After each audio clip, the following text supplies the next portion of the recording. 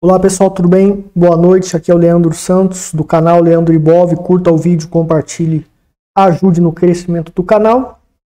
E vamos agora então para é, a continuidade do nosso curso de Candlesticks padrão Bullish Engulfing, material avançado de Candlestick eu estou compartilhando. Curta o vídeo, compartilhe, ajude no crescimento do canal. O link da página do curso de Candlestick completo está na descrição do vídeo, com todos os links, todos os temas, etc. Material também vai ter, ou, ou já tem. E vamos aqui falar sobre o bullish engulfing, né, ou engolfo de alta. Tá certo? Então, né, esse aqui é o engolfo de alta, um exemplo do engolfo de alta, né? Um exemplo bem clássico da literatura é ter um candle do tipo spinning top pequeno. O que é um spinning top pequeno? Um spinning top, né? Você tem ele com sombras um pouco grandes, inferiores e superiores um pouco grandes. O spinning top, o spinning top menor tem sombras bem pequenininhas, né? Quanto mais curto o corpo do que do spinning top, sombras maiores, mais poder ele tem. Então o engolfo de alta ele se caracteriza mais, quando ele tem mais força. Esse padrão aqui ele não é muito igual ao clássico, eu julgo mais poderoso, né? Um spinning top desse tamanho e um marobozu, né? Vou colocar em azul aqui. É um candle de corpo cheio com sombras pequenas, superiores e inferiores, ou sem sombra nenhuma. Agora, o engolfo de alta ele também pode se caracterizar quando um candle qualquer é engolfado, tem o seu corpo totalmente engolfado, ou seja, o, o candle positivo em azul ele tem engolfado esse candle vermelho negativo, que também é grande, mas o azul é maior e ele engolfa né, o fechamento e a abertura do candle negativo. Né, então o, o bullish engulfing, ou engolfo de alta, ele se caracteriza por engolfar o corpo desde o fechamento até a sua abertura, um candle negativo. Tá? É, então isso é uma descrição básica sobre o engolfo de alta e o mais poderoso é esse tipo aqui clássico, né? O, ide o ideal é quando você tem, né, quando você tem aí um spinning top mesmo menor, um candle menor do que esse vermelho aqui, né? Candle menor do que esse vermelho. Né? Então esses ambos candles aqui seriam um, um, um engolfo de alta mais forte, tá? Vamos aqui, inclusive está ocorrendo na Petrobras hoje um engolfo de alta. Né? A gente vai ver aqui e o abriu aqui e fechou aqui o candle de hoje da Petrobras. Tá? Ah, então engolfou esse candle verde, engolfou a abertura e o fechamento do candle negativo. Veja que não, inclusive aqui é um spinning top pequeno mesmo. Mas esse engolfo não é muito forte, por quê? Porque o corpo do candle não é tão grande em relação ao candle anterior negativo. Quanto maior o candle de engolfo, que faz o engolfo, o candle positivo, mais forte é o padrão. Então vamos aqui para a descrição do engolfo de alta, tá? Então, né, durante um movimento de queda, então veja bem, o engolfo de alta ele vai ocorrer aonde? Ah Leandro, o mercado está subindo. Daí fez a descrição, né? Você falou, fez um candle pequenininho, e houve um outro candle que engolfou, engolfo de alta. Mas o contexto é de tendência de alta. Está numa região de topo. Isso aqui não vale nada, então. Não é um engolfo de alta. Tá? E eu, quando comecei com candlestick, eu operava comprado, comprando ações é, em topo que tinha engolfo de alta. Mas o engolfo de alta deve ocorrer, ele deve ocorrer em, ah, em fundos, né? Tem um golfo de alta, ele tem que ocorrer quando está fazendo fundos. Tá? Ele nunca deve ocorrer em topos, tá? ou próximos de topo.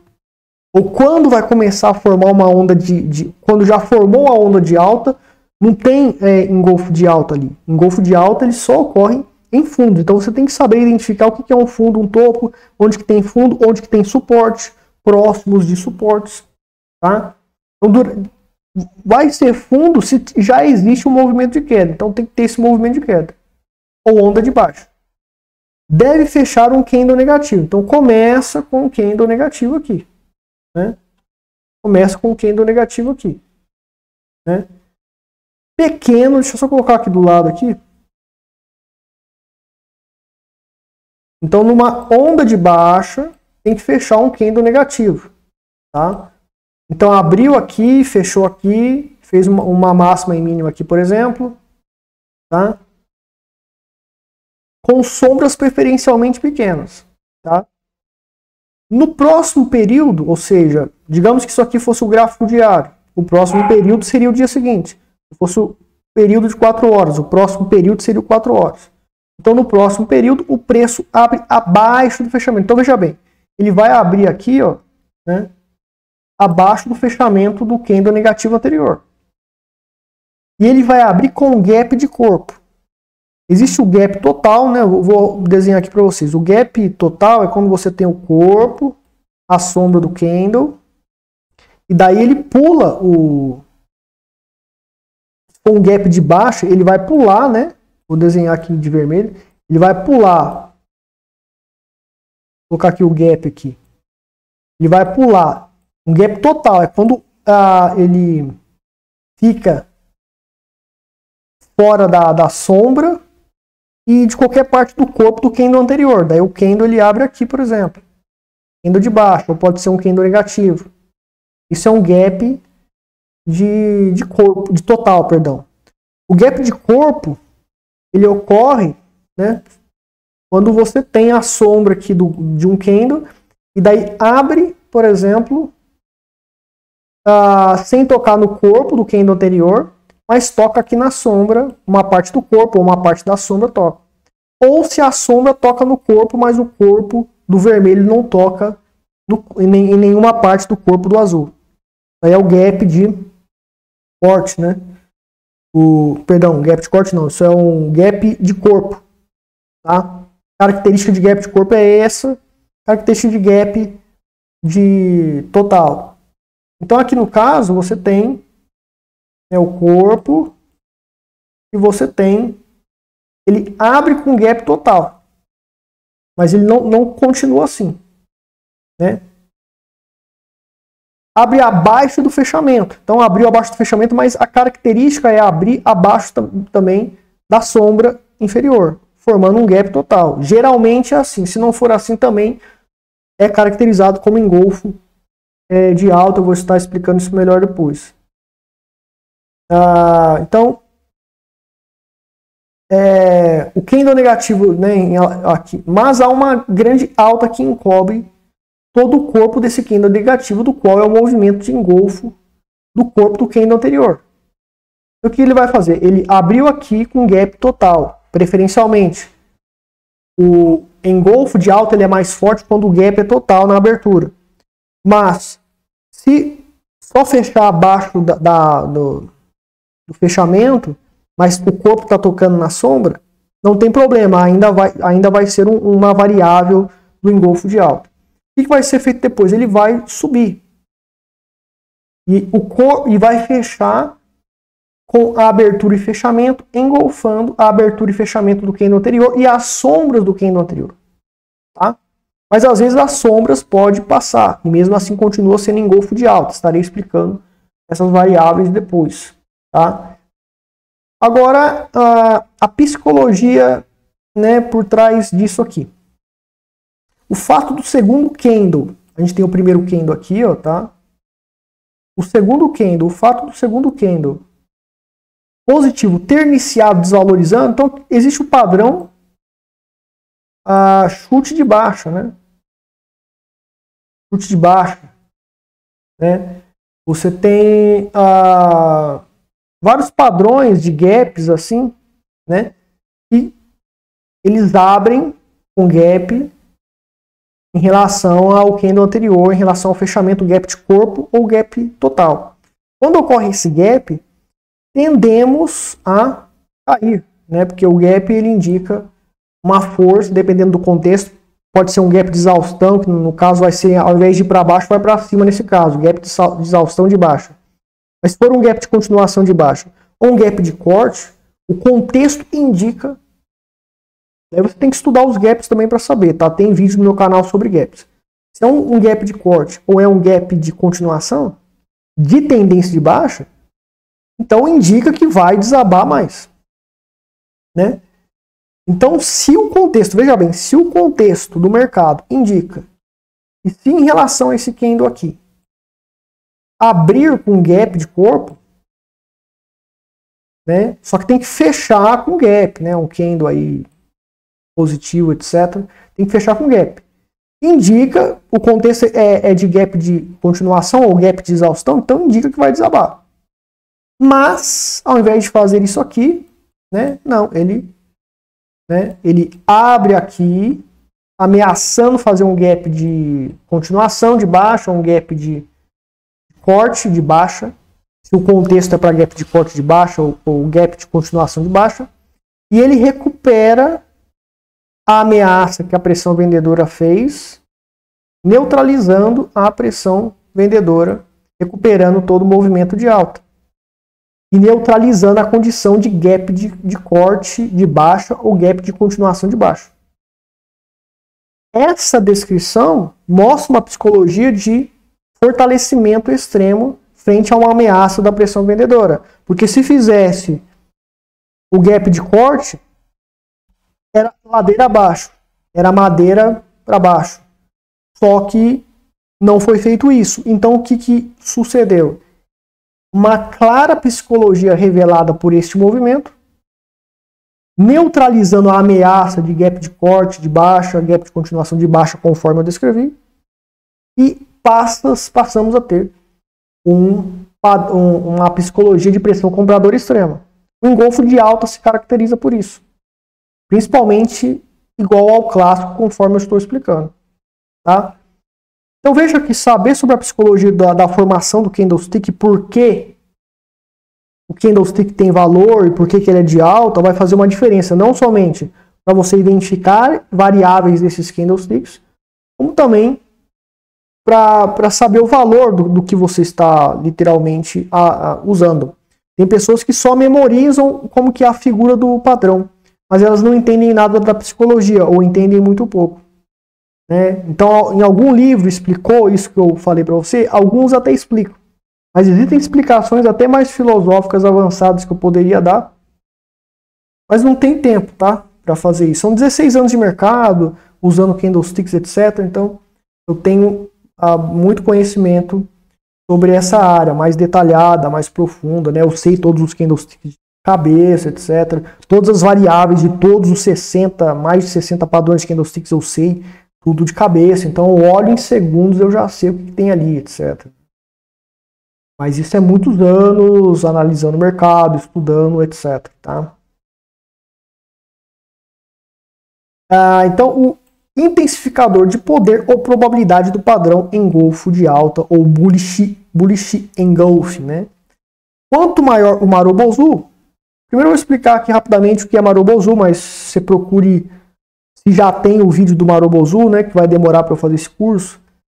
Então, quando tiver o vídeo do Marobozu, ou se já tem, procura aí no meu canal, Leandro Ibov, Marobozu, Candlestick. Daí você assiste para saber. Mas, em resumo, Marobozu é um candle positivo ou negativo.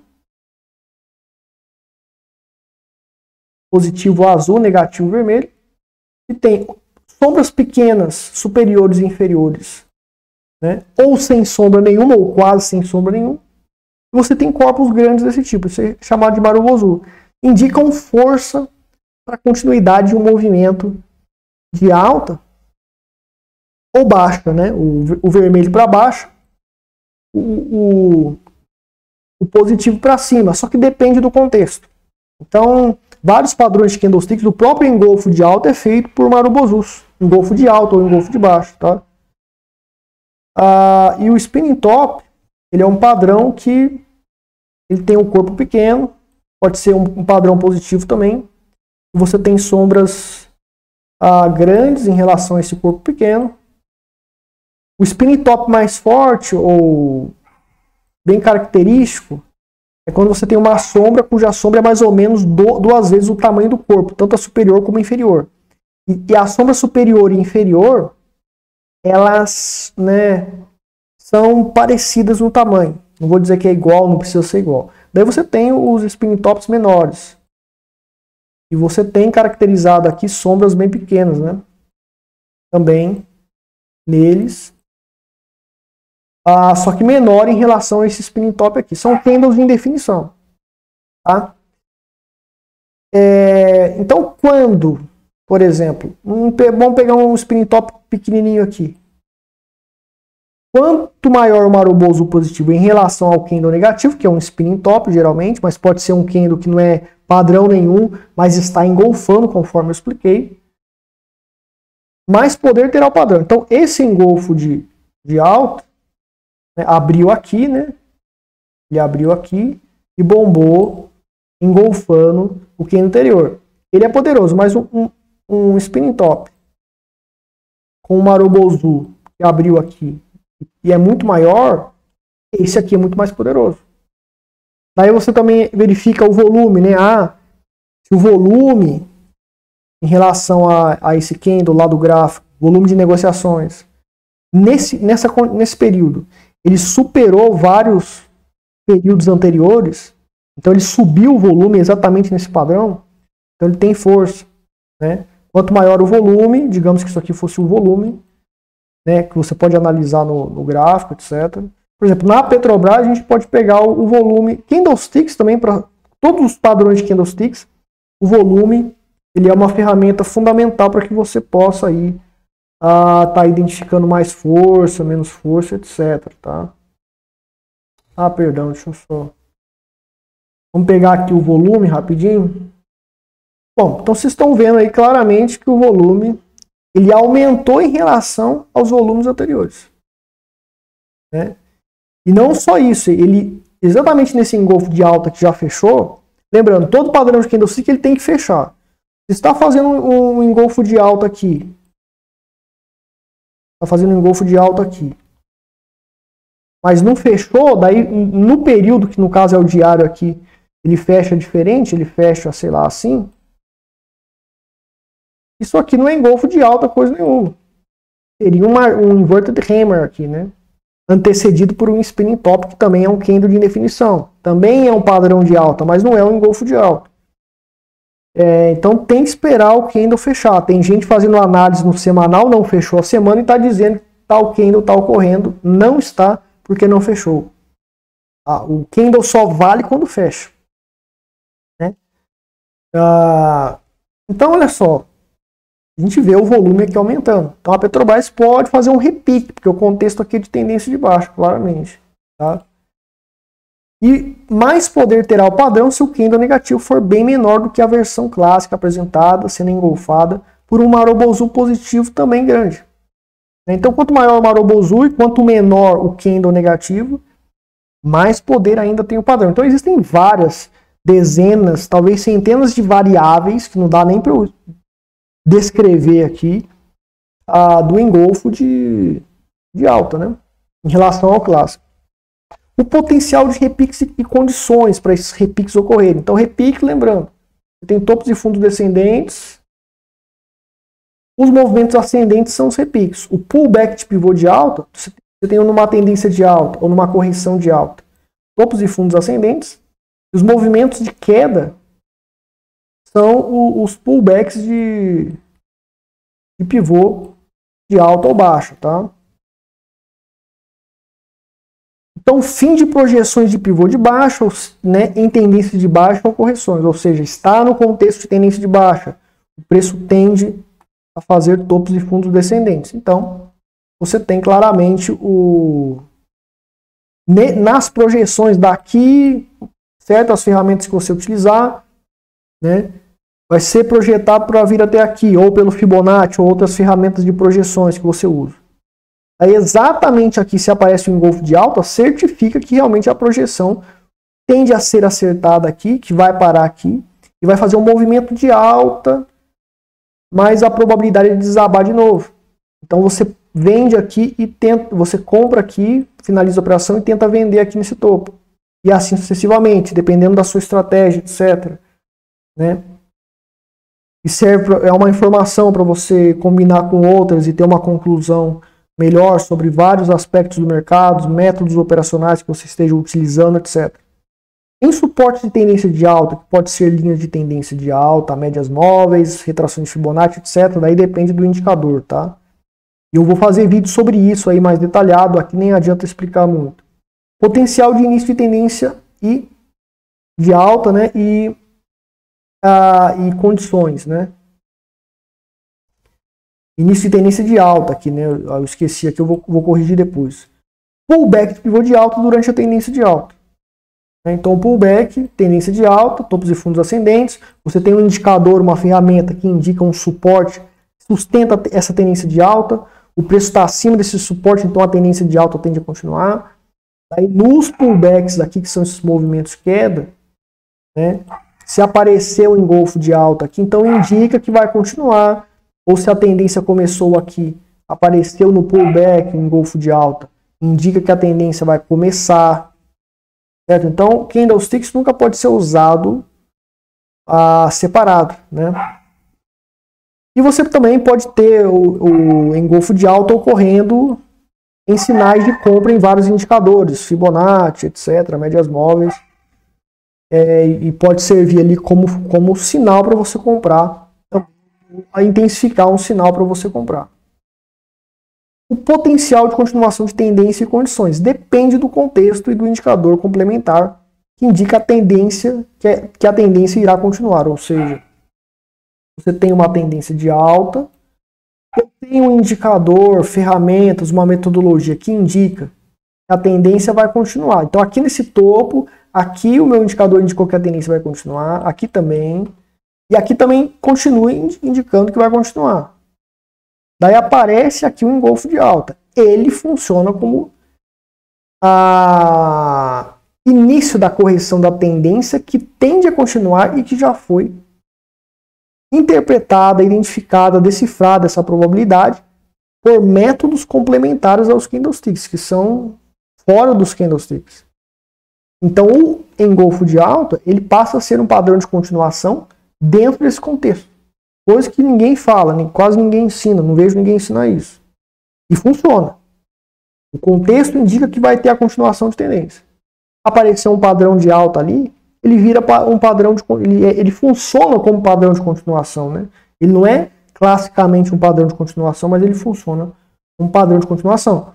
Tá? No caso, engolfo de alta somente para continuação de alta, nunca para continuação de tendência de baixa. E daí você tem as variáveis tá, desse padrão, a gente vai ver aqui. O, a questão do indicador de análise técnica recomendada e condições vai ter vídeos específicos para isso. Já dei algumas dicas aqui, alguns exemplos básicos. Então você tem esse padrão aqui, mas você tem o, spin, o engolfo de alta por é, spinning tops pequenos. Daí você tem lá o engolfo maior, tá? Você tem engolfo com sombras, quase nada de sombra. Você tem o engolfo de alta. Vou colocar aqui, vou colocar aqui essa, essa linha amarela aqui, tá? Você tem um engolfo de alta com sombras pequenininhas. Você tem um engolfo de alta com spinning top com sombras gigantes. Daí você tem o engolfo aqui, ó.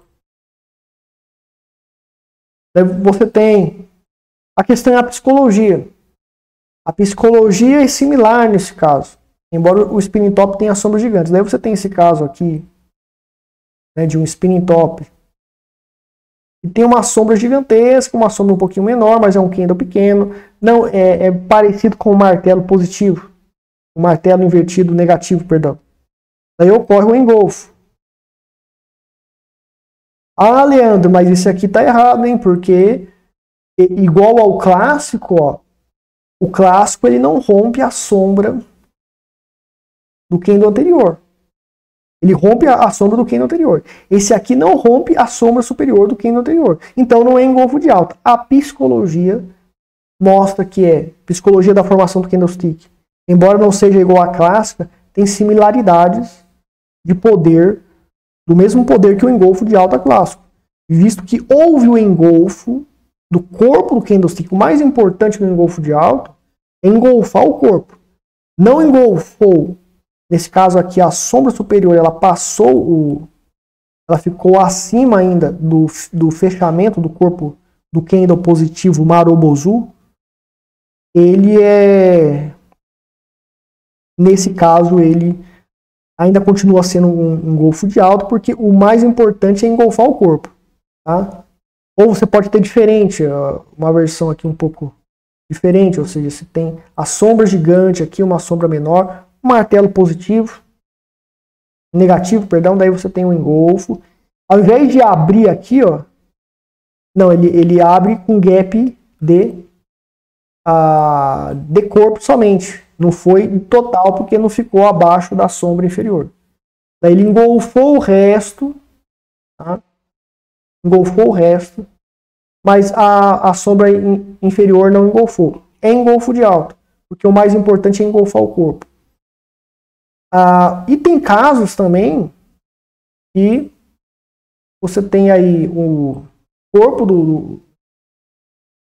Você tem aí o, uma sombra grande, parecendo um martelo, uma sombrinha pequena, e daí o engolfo, ele não, não engolfa a sombra inferior né, do candle anterior, e também não engolfa a sombra superior do candle anterior.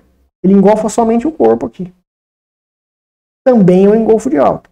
Claro que esse aqui é mais forte. Claro que esse aqui é mais forte. Claro que o clássico é mais forte. Tá? Lembrando que o clássico também pode ter um Kendo Marobozu positivo, negativo, e você tem ali um engolfo, abriu aqui, aliás, né, e daí fez o, o engolfo de, de alta. Ah, mas é um Marobozu negativo. Pode ter Marobozu negativo engolfado por um Marobozu positivo? Com certeza. Com certeza. E pela as minhas análises, experiência, um engolfo de alta que ocorre com um Marobozu negativo engolfado por um maroboso positivo é tão forte quanto um candle de indefinição. Na minha opinião, é um candle extremamente forte. Tá? É um padrão de extrema força aí, um engolfo de alta nessa, nessa condição. Mas a literatura não, a, a não dá aval para isso. Tá? É, você pode ter um engolfo de alta envolvendo dojis. Ah, Leandro, mas o engolfo de alta da literatura diz né, que não pode ter doji, tem que ter o corpo de spinning top. Não, ele pode ter doji sim. Ele engolfou o corpo do doji, que é o abertura e o fechamento é no mesmo nível. Né? E também pode ter o doji, um long leg doji, somente, né? e ele pode engolfar somente o corpo e a sombra superior, né? mas a sombra inferior não não não é engolfada ou você tem o contrário, né? uma sombra superior maior, um, do, um doji pernalto, um long leg de doji inverted, né? o invertido. Daí o Marobozu ele engolfa o corpo anterior, sombra anterior, mas a perna superior não, não engolfa. Ou você tem um, uh, um doji pernalta, pode ser invertido, daí o engolfo só ocorre no corpo. O engolfo só ocorre no corpo. O corpo engolfou é o mais importante. Daí você analisa a, psicologia que o Kendo apresenta o doji pernalta invertido em uma região de suporte, ele é um candle de indefinição, equivale como um candle de definição. Um candle de indefinição em uma região de suporte, em qualquer outro, em qualquer contexto, contexto de projeção, ou, o suporte já existia ali, etc. Ele tende a fazer o preço ir para cima. Pode ser um repique, se for uma tendência de baixa, ou pode ser uma continuação de tendência de alta, ou início de tendência de alta, dependendo do contexto. Daí o corpo dele é engolfado, engolfo de alta. Então veja o nível de variáveis que tem o engolfo de alta. Eu nem posso ficar falando aqui, tem várias variáveis. Eu vou criar um livrinho Né? Não sei se vai ser de graça, porque vai dar muito trabalho para fazer, então eu acho que eu vou ter que vender, tá? Ah, e acho que essa ideia é boa, mas eu não sei se eu vou conseguir construir esse livro. Mas se eu construir, provavelmente eu vou vender barato, mas eu teria que vender na, pela Amazon aí, sei lá. É... Seria um e-book só de padrões de candlesticks para você memorizar e variáveis todos os tipos de variáveis possíveis. Né? E se eu descobrir que eu esqueci de alguma, eu vou atualizando esse livro, etc. também. Né?